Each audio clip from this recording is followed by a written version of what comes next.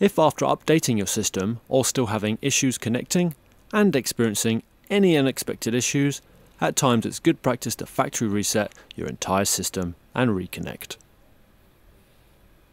If you're using the Samsung Multiroom Hub, to the rear of the unit, locate and press the reset button using a paperclip for several seconds until you see all four indicators at the front repeatedly flashing.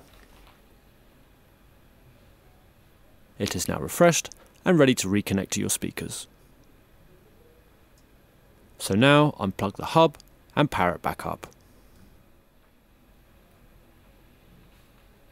To reset the wireless 360 speakers, R7 and portable R6, press and hold the plus and minus volume control buttons until you see a purple flashing indicator. The device will now reset and then reboot. To reset the M series speakers, press and hold the mute and radio buttons for several seconds, and the device will also then reset and reboot.